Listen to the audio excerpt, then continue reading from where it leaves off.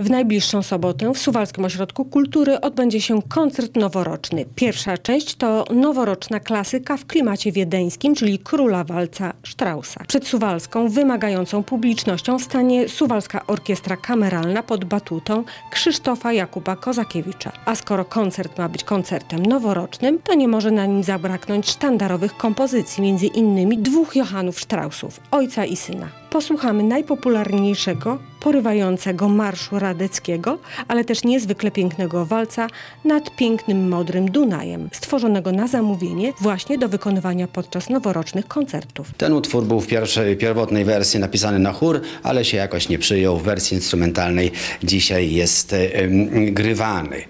Oczywiście nie będą to jedyne utwory, będzie więcej utworów, ponieważ jak wiemy rodzina Straussów napisała tych mm, utworów tysiące.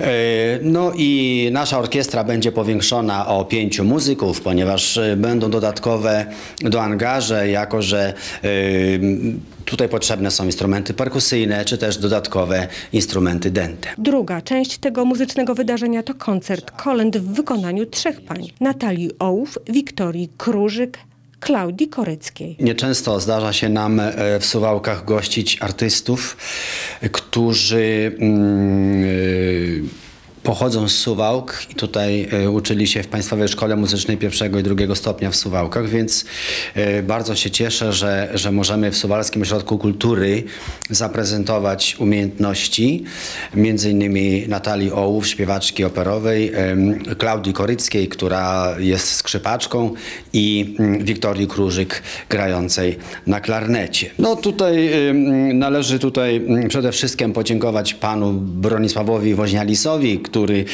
prezesowi zarządu Res Europa Service, który był jakby takim e, mm, spiritus movens tego, tej płyty. Płyta powstała w krótkim czasie. To dzięki temu, że, że no, mamy do czynienia z zawodowcami, tutaj dużą pomocą e, był pan Dubrawski, pianista z Uniwersytetu Muzycznego w Warszawie oraz pan mm, e, Bielski, który gra na instrumentach dętych i mm, Dokonali aranżacji, niektóre te kolendy, ponieważ to będą kolendy, e, właśnie są zaaranżowane w takim stylu jazzującym, więc też i, mm, e, i Natalia będzie śpiewała część kolęd w takim właśnie wykonaniu operowym, natomiast część będzie w takim już lżejszym stylu. Gospodarze noworocznego suwalskiego koncertu przygotowali przesympatyczną niespodziankę dla publiczności. Każdy, kto przyjdzie na koncert, zostanie obdarowany krążkiem z kolendami. Witaj Gwiazdko.